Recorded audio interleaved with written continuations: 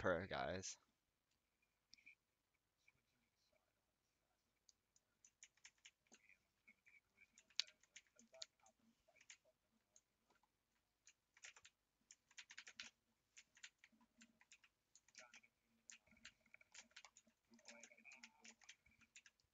Oh, I've got an Overwatch.